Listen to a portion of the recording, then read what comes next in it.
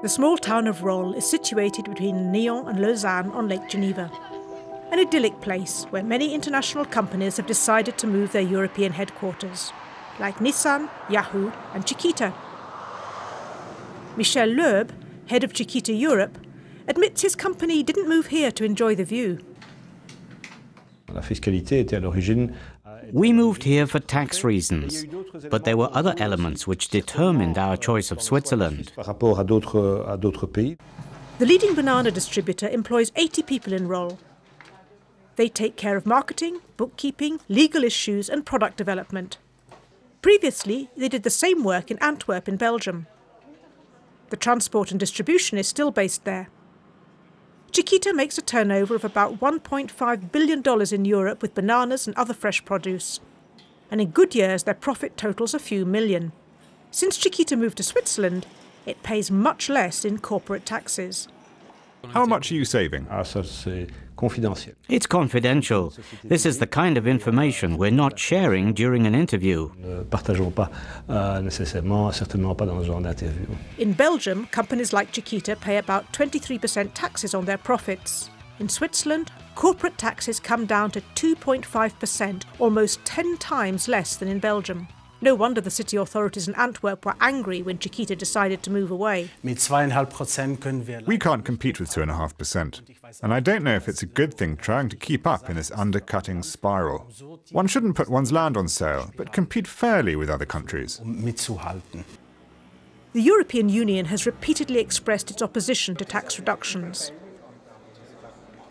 Some uh element of, of, of, the taxation system in Switzerland concerning the taxation of, of corporates, of companies, which is according to our judgment, not exactly in line, in harmony with the, with the uh, principles of the European Union. Switzerland always fought back fiercely to keep its autonomy in tax questions. Es gibt nichts zu verhandeln. There's nothing to negotiate. The European Union has nothing to look for in our taxation system. We also don't poke our noses inside the tax systems of our neighbour countries. But eventually, some compromise had to be found. Switzerland offered to erase discounts it granted to mailbox firms and to check more closely on holding companies.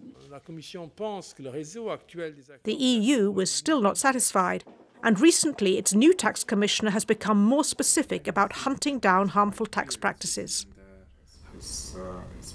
The first idea is to discuss uh, with Switzerland possibility to to subscribe for the principles, uh, and uh, then of course to to look uh, uh, at the at the systems taxation systems system in, in Switzerland and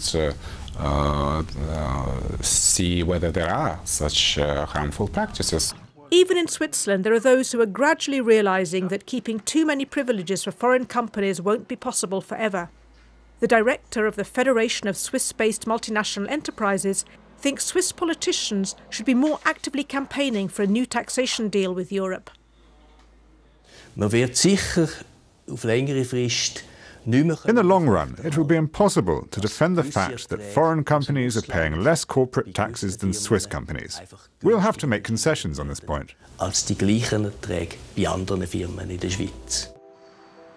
For the moment, though, construction work in the idyllic destination for multinational companies is booming. Rolle is making place for foreign managers and their families who have relocated here. Brussels and the taxation storms constantly brewing there still seem far away, at least for the moment.